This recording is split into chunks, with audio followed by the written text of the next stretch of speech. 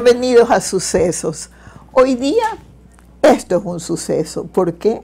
Porque tenemos el honor de recibir y poder conversar y poder ilustrarnos ni más ni menos que con el doctor Ramiro Borja Gallegos. Cuando digo Ramiro Borja Gallegos, estoy hablando del derecho, estoy hablando de la experiencia, estoy hablando del conocimiento, estoy hablando de aquellos jurisconsultos que cimentaron lo que significó en un momento dado el Estado de Derecho de la patria. Es un gran honor para todos nosotros darle la bienvenida al doctor Borja. Bienvenido, doctor. Estoy feliz de tenerlo con nosotros. Muchas gracias a los televidentes y radioescuchas lo importante en este momento es contribuir para tratar de salir de este marasmo jurídico en que nos encontramos. Allá voy, doctor. Vivimos, aunque este sea de alguna manera un lugar común, una de, uno de los momentos más oscuros que vive la patria. ¿no? Lo que usted ha definido como marasmo jurídico se traduce también al marasmo social, al marasmo político, económico, a, un total desencuadre de los principios fundamentales del Estado del Derecho. En esta circunstancia, yo pienso que recurrir a las personas como usted, con experiencia, serenidad, tranquilidad y sobre todo con conocimiento en terreno, en el ejercicio del derecho, para que nos ilumine es absolutamente fundamental y básico. La pregunta entonces sería, ¿qué hacer, doctor? ¿Cómo manejar, cómo salir de este hueco profundo en el que cada vez nos hundimos más? El gran problema es tener en este rato un una camisa de fuerza, que viene a ser la Constitución del 2008. ¿Por qué la cataloga como una camisa de fuerza? Porque es una constitución que no contiene ni los más mínimos eh, principios éticos, morales y jurídicos. Y sin embargo, hay el neoconstitucionalismo que la declara una de las constituciones más garantistas que ha tenido el país. ¿Dónde está esa contradicción, doctor? El grave problema es justamente ser garantista primero.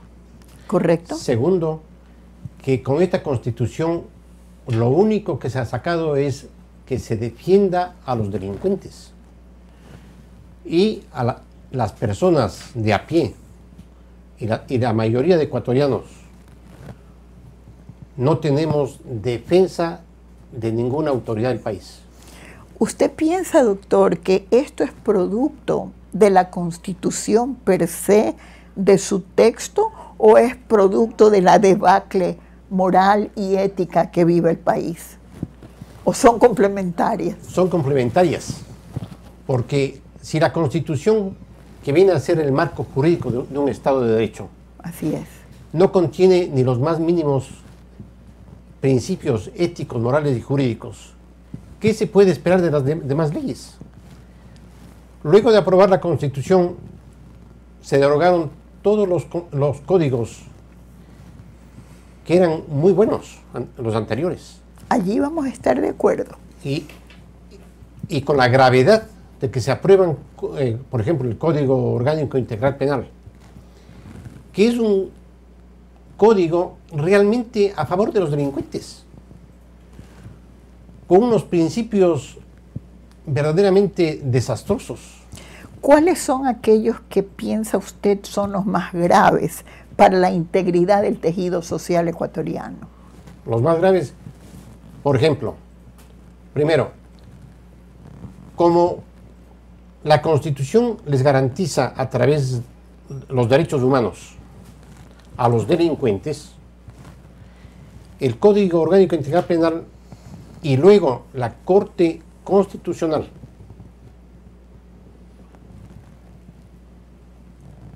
dictó una sentencia, por ejemplo, que dice que no puede haber prisión preventiva. ¿Cómo se puede ocurrir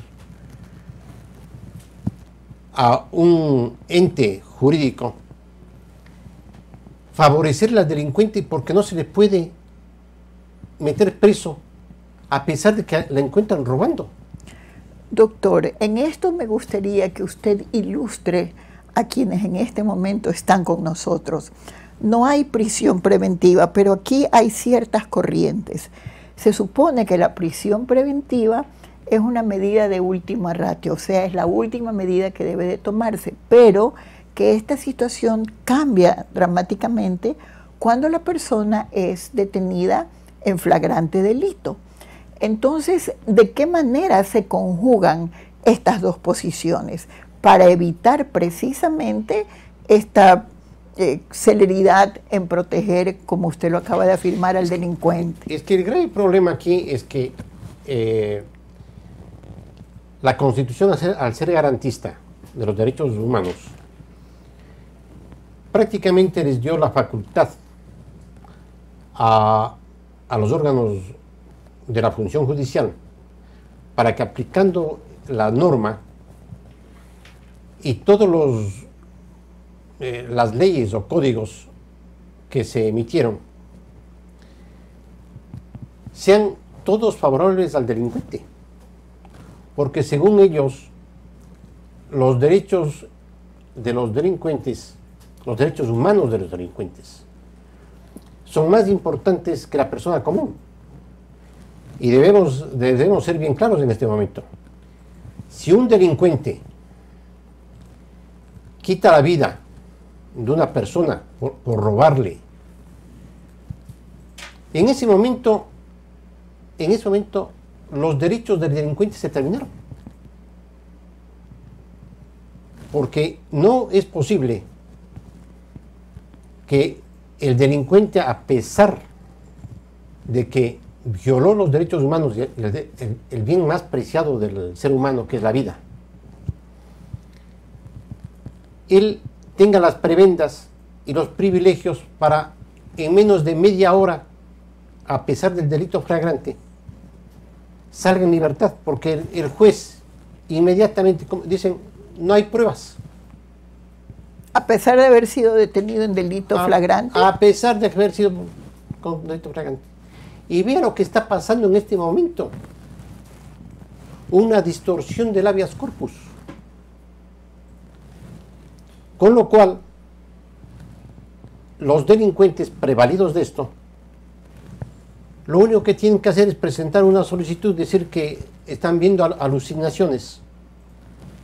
Y el juez ordena la libertad y le manda a la casa a, descansar, porque está viendo alucinaciones, como pasó con el señor Glass, ¿no?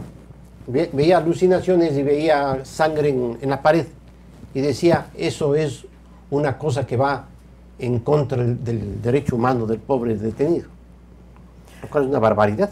Doctor, a mí me gustaría que se hiciera como una aclaración, porque podría llamar a confusión. De acuerdo a la teoría universal de los derechos humanos, estos están concedidos a todo ser humano.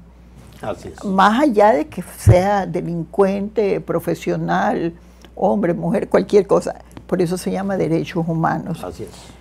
¿Por qué, eh, ¿Por qué usted señala que el código, los códigos y particularmente la constitución tienen como una, una particularidad para favorecer solamente a este grupo humano que catalogamos como delincuentes.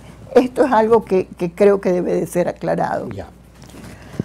Es, Perdón. es fundamental saber de, de, dónde nace primero la Constitución. Correcto. ¿Sí? Nace de un, de un gobierno desprestigiado y que causó un gran daño al país. A, través de la Constitución se pusieron preceptos para justamente defenderse los delitos, para defenderse los delincuentes de cuello blanco y así no pagar las penas. Ante una situación de esa naturaleza, ¿cómo podría eh, el Ecuador, el país, en términos generales, enfrentar la situación? ¿Cuál podría ser la solución?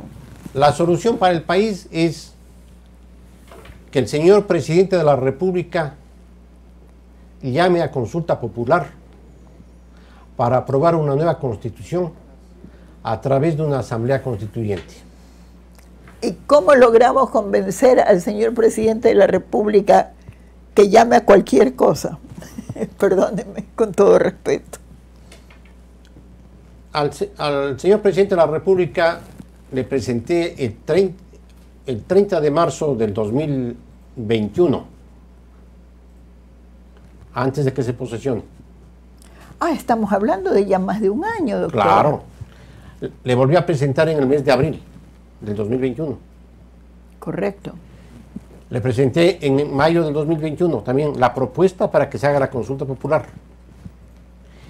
Y hice el último intento el 30 de marzo del 2022.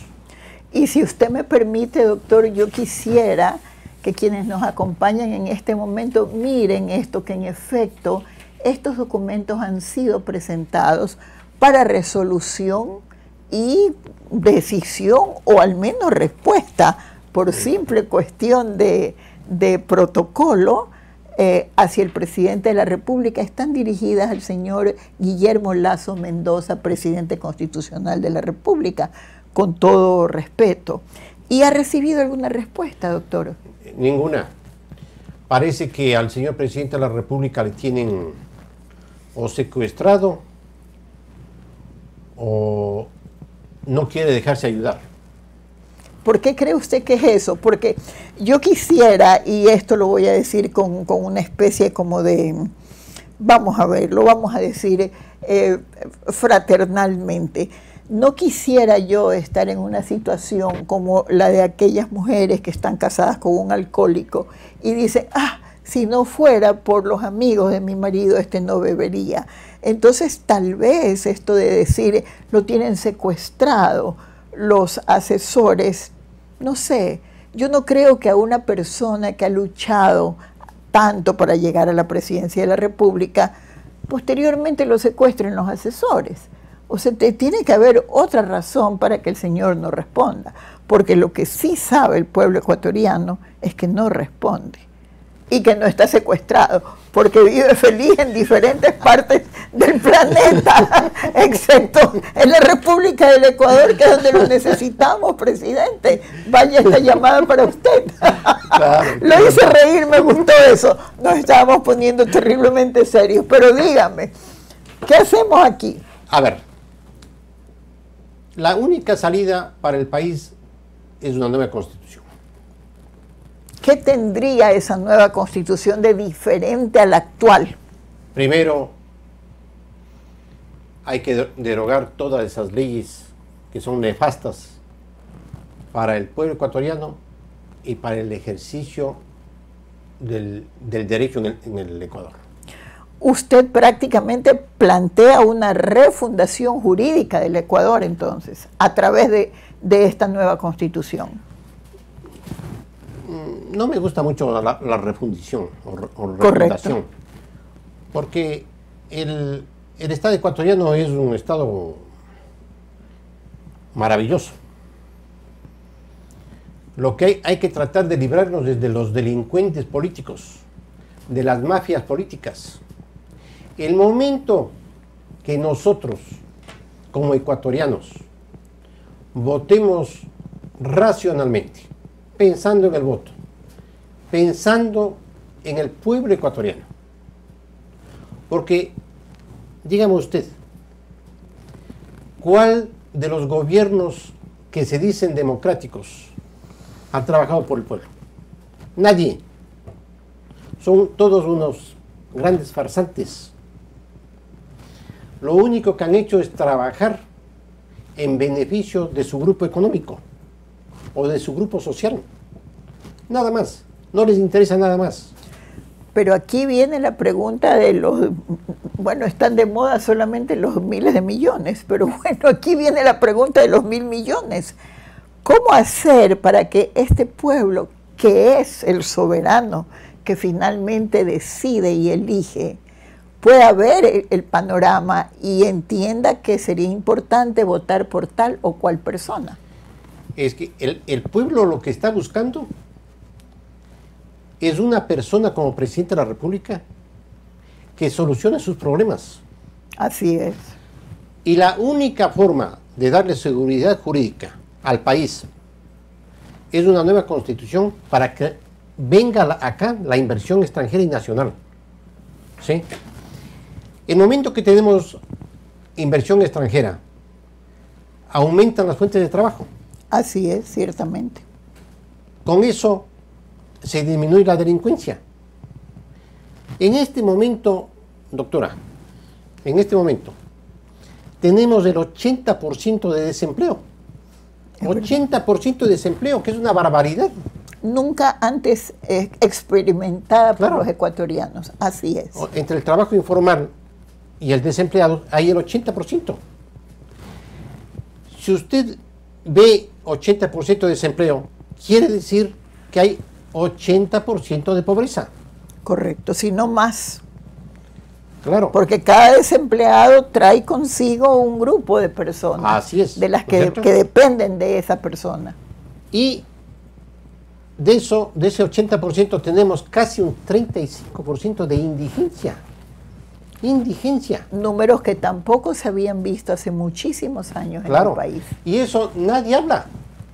Todo el mundo se calla nos hemos hundido de esta manera teniendo petróleo, teniendo banano, teniendo recursos naturales, siendo un país rico. Claro, todos los recursos han, servido, todos los recursos de, los ecuatorianos, de los recursos ecuatorianos han servido para que esa mafia política se robe y perjudica a todo el pueblo ecuatoriano. Pero cuando hablamos de mafias políticas, tenemos que generalizar en el sentido de que esta mafia política tiene, es de largo alcance. Eh, no es la actual, no es la anterior, no es la, otra, es tiene una larga historia ya acompañando al poder. Más o menos un 40%, 40 años, digamos. ¿Qué le parece? 40 años. Que es la razón por la cual está el pueblo desesperado y además perdido. En el sentido de que más o menos quién nos salva si fracasamos continuamente en, cuanto a la elección. Tal vez no sería importante eh, trabajar en cuanto a, fortalecer la cultura democrática, jurídica, el conocimiento del pueblo ecuatoriano, paralelamente a la propuesta de esta nueva constitución. Para eso es fundamental todos los medios de comunicación. Los medios de comunicación deben hacer un trabajo social Correcto. Para que el pueblo se culturice. ¿Y por qué cree usted que no lo hacen? Porque en efecto no lo hacen. Es que no lo hacen porque también se están beneficiando de, la parte política. Por eso no les interesa. Si usted quiere mantener a un pueblo en, en la pobreza más grande, nunca le dé educación. Así es. Así de simple. Es verdad. Solo la educación nos hará libres, doctor. Y solo el pueblo salva al pueblo. Así es también, estoy de acuerdo, doctor. Ha sido realmente una pena que no podamos seguir eh, conociendo, comentando, discutiendo, nutriéndonos de su conocimiento. Usted sabe que esta es, es una frase cliché, pero es verdadera. Eh, la televisión es tremenda en cuanto a tiempos.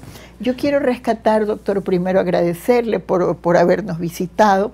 Quiero rescatar el hecho de que usted le ha presentado al señor presidente de la República de manera personal en sus manos eh, una solicitud expresa, ¿verdad?, para que llame a una consulta popular. El doctor ha ido aún más le ha dado haciendo, como se dice en Quito, le ha dado haciendo el trabajito, está en los oficios que deberían de enviarse a las autoridades correspondientes. Está eh, la invitación y la convocatoria para una consulta popular. Doctor, lo que hace falta entonces es o conciencia, o coraje, o sentido del deber para con la patria? ¿Cuál, ¿Con cuál de las tres se queda usted? ¿O las tres? Yo creo que las tres, y, y tienen que los políticos que quieran ser presidente de la República, primero tienen que pensar en el país y en el pueblo. Gracias, doctor. Y ese es nuestro mensaje. En este momento necesitamos rescatar al país. Nadie puede decir que estamos en buenas condiciones. Nadie puede negar que vivimos uno de los momentos más dramáticos dentro de nuestra historia republicana. Si ahora no solucionamos este problema, no tenemos futuro, no lo podemos permitir. Entonces es hora de decir, levantémonos, organicémonos, despertémonos y empecemos hacia un, a, a, caminar, a luchar por la propuesta de un nuevo Ecuador. Gracias por estar con nosotros, gracias doctor por su gracias. sapiencia y por haberla compartido con nuestro público. Muchas gracias. Sigan ustedes con, en nuestra compañía.